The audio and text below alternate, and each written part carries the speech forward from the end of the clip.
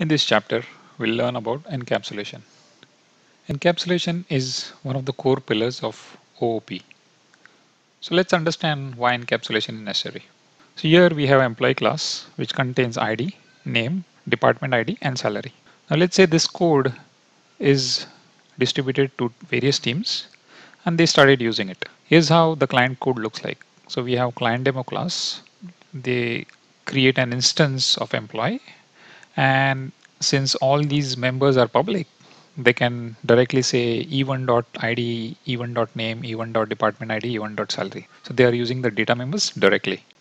Couple of months down the line, the team maintaining the employee library decides to split the name into first name and last name.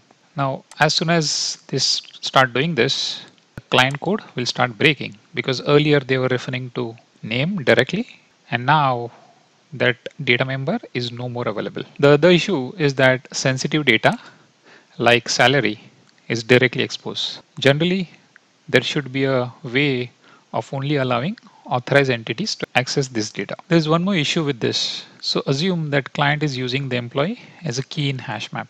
Now if accidentally there is a code written that changes the key, this will result in an undeterministic behavior on client side. Can these all be addressed? Yes, they can. Let's see how. So in the employee class, we have changed the public data members to private. So all of them are private. So which means if we create an instance of employee, we'll not be able to do instance.id. In order to give read access, we have introduced public getter method. So get ID is returning ID, get name is returning name, get department ID is returning department ID. And for salary, since we want control access, we are checking whether the client entity is having access. So if CL is allowed, only then we are returning salary, otherwise it is returning minus one. For employee, the department can change in future. So we have introduced set department ID. Similarly, salary can change. So we have set salary, which is also being passed client to check if the client has got access to it, then they'll be able to change the salary. For employee, ID and name would not change. So these are being set by the constructor. So you'll see that there's an employee constructor which is taking ID and name and it is setting this. So here is how our client code looks like. So we have employee demo, we have public static void main and in here we are creating an instance of employee and we are able to do a set department ID and we are also able to do a set salary but in order to set salary we have to pass the client so that they can check whether the client is allowed to uh, change the salary. So let's take a look at some of the key points in encapsulation. It's a mechanism by which sensitive data is hidden and relevant information is exposed.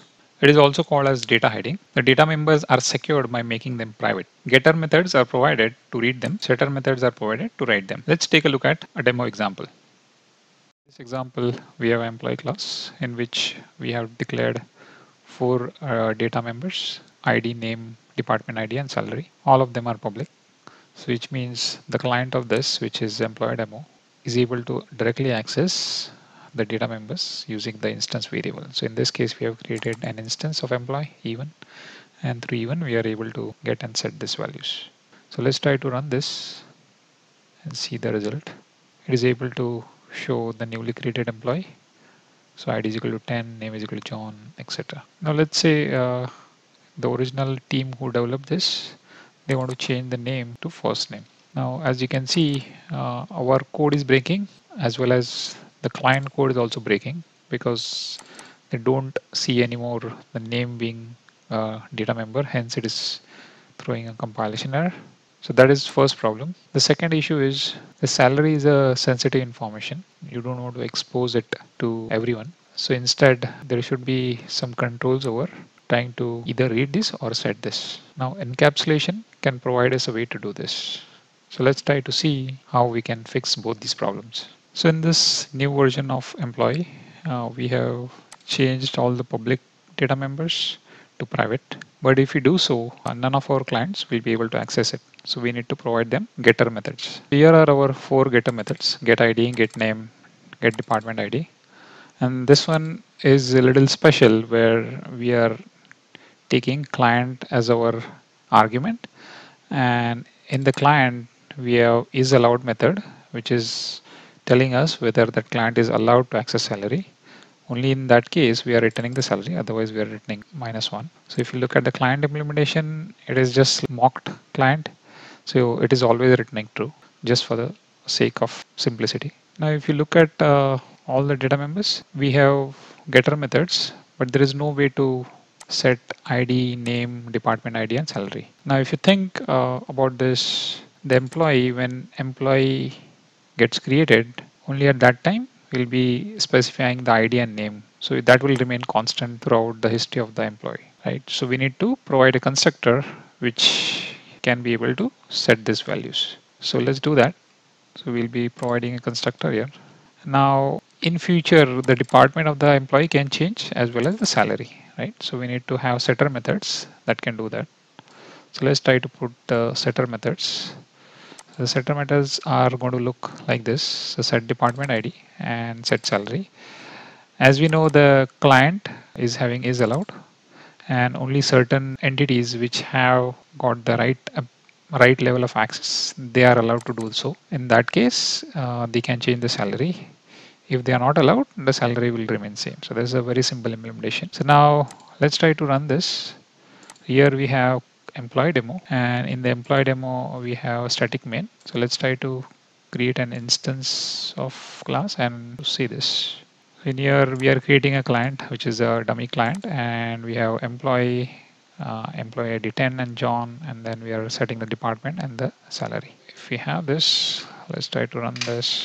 So this is in here you can see it is uh, it is correctly printing the employee. As our use case was if we change the name to let's say first name. You can see that our client code doesn't break. It still continues to run whereas of course our employee code is breaking but that is manageable because that is in the purview of the team developing or maintaining the employee code. So we can easily fix this.